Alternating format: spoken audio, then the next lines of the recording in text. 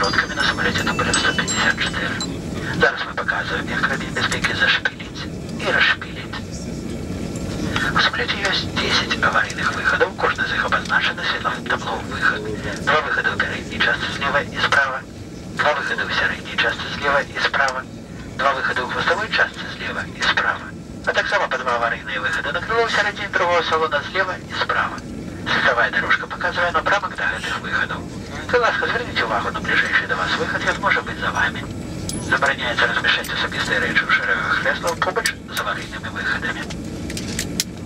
У випадку розгерметизації кислородні маски випадуть автоматично.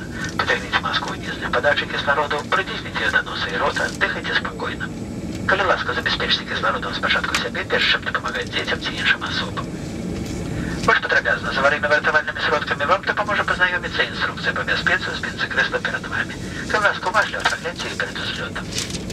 По часу зльоту і посадки самолета освітлення в салоні буде неярким.